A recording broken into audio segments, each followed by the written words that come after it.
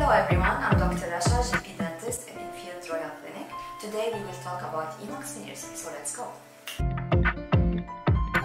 Emax veneers are thin ceramic layers bonded to our teeth between the thickness of 0.3 to 0.5 millimeter, which is very minimal.